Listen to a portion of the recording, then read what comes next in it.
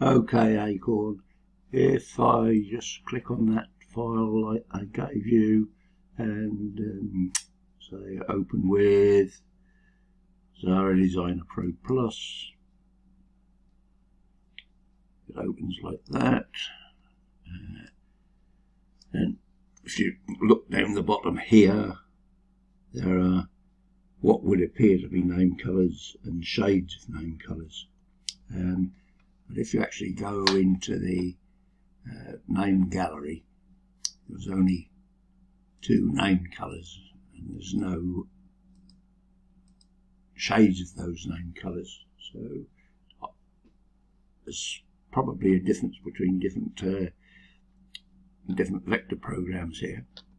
Um, so if I, I click that theme color one here, move that there, that works fine, and select that, select the theme color, that there, move that there, keep that so and then if I select these shapes, not text, they're shapes, they're going unnamed to and similarly with this semi semicircle here um, that doesn't appear to have um,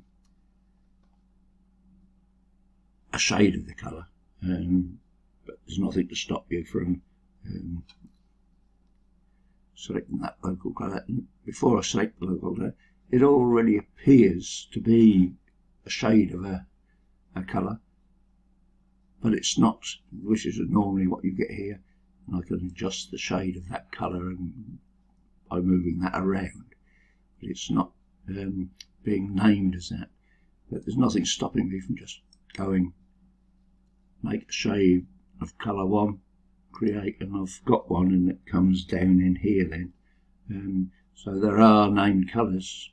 Um, so I could do that. Um, interestingly, this only works when I do the um, import uh, open uh, file directory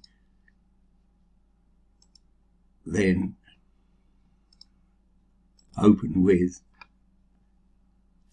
Xara Designer Pro Plus um, it doesn't if I just drop the whole thing into a window in Xara. um, it doesn't come in with these name colours and shades of name colours.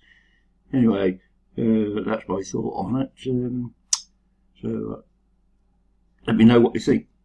This is Egg. All the best. Goodbye.